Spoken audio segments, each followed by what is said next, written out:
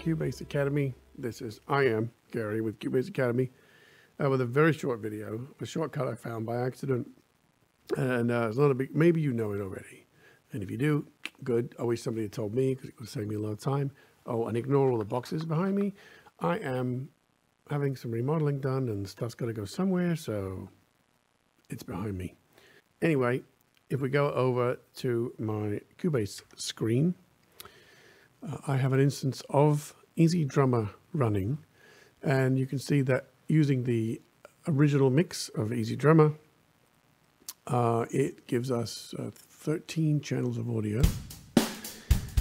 Not all of them are used, but you can see we've got overhead, ambience, kick, snare top, snare bottom, blah, blah, blah. So all of those outputs right now are just coming out of channel one. So everything's affected by a single fader. You can see here in EZdrummer, everything is assigned to output one. And you know that if you want to mix something down, then that's not always the most practical thing. You want it to be on individual channels so you can EQ, press, do things you want to do. So the way to do that is you come up to this little button right here, activate outputs, you click it. And what I've been doing in the past is I've been clicking these one at a time. So I want 13. So that's two, three, four. That's how I've been doing it. Now, maybe I just didn't get it.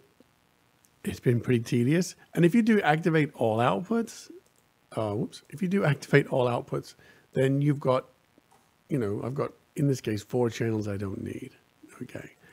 So normally uh, I would go through as I showed you and click all those individuals.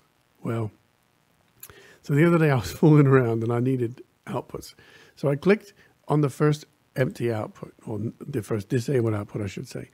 And then I went down to the number of tracks I needed, which would actually be 12, but I think I'm going to put an extra one in. And I held down the shift key and I clicked and they selected. So then I clicked and activated one, and of course, they all activated. So I've been doing it the hard way all of this time. Something else I discovered with EZdrummer, I used to go through and go, okay, this is output two, this is output three, uh, but you don't need to do that either. You just go to any one of these and say, multi-channel, and it does it for you. Now, the one thing it does do is it puts um, all the toms on five and it skips over eight, nine, and 10. I haven't figured that part out yet. But that was not what this video was about. So that's, you know, ancillary.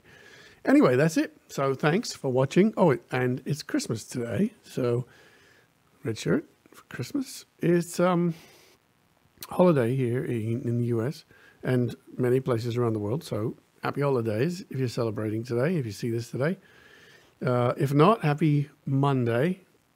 And uh, if you happen to be watching this on another holiday in the future, by coincidence, happy that holiday.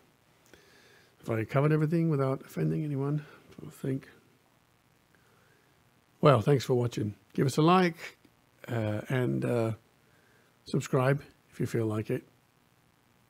See you next time.